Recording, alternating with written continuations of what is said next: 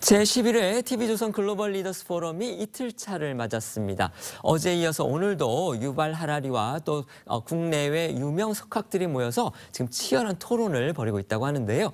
현장 기자 연결해 보겠습니다. 자, 고이동 기자 소식 전해 주시죠. 네, 포럼이 열리고 있는 서울 워커힐 호텔에 나와 있습니다. 지금은 포퓰리즘 대 민주주의라는 주제로 다섯 번째 세션이 진행되고 있는데요. 뜨거운 열기 속에 다양한 논의가 이어지고 있습니다. 오전에는 사피엔스의 저자 유발 하라리 교수의 기조연설이 있었습니다.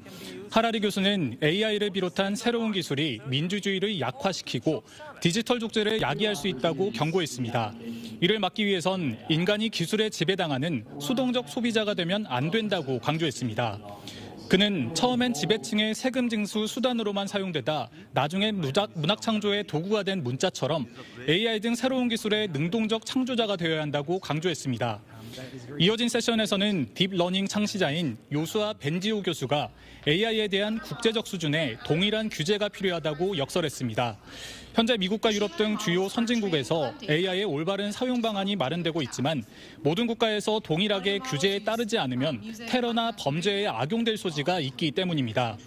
TV조선 글로벌 리더스 포럼은 민주주의, 디지털 권리 장전을 선포하라는 주제로 이틀째 열리고 있는데요. 포럼에 참가한 많은 글로벌 석학과 전문가들이 이 같은 주제에 공감하고 있습니다.